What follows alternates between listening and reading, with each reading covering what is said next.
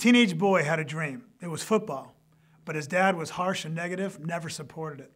The boy hurt his knee and had to quit football, but he got a new dream, and it was drama. He ended up being a great singer, and they said, You should be in a band.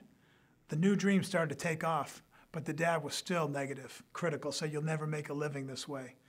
But the boy persisted. He ended up finding a relationship with God, and he built his band around singing about God and his love. The father came down with cancer, something that wasn't in any of their dreams. But that led him to look, look for God and find Christ. It changed his life, and the son had a role in helping the dad find Christ. But then the dad died, and the mom said to the son, Imagine your dad in heaven right now. Well, that's what happened to Bart Millard, the lead singer of MercyMe. And that's the inspiration for the song, I Can Only Imagine, a song that only took him 10 minutes to write.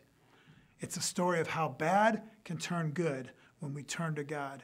And it's a reminder never to give up on your mom or your dad, and never to give up on what God can do with bad things turning good.